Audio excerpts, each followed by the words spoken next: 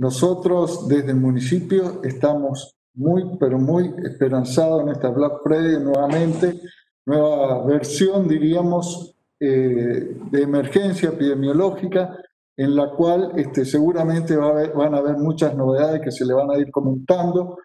pero entendemos que gracias a una política de salud que se viene llevando a cabo en la provincia, podemos hoy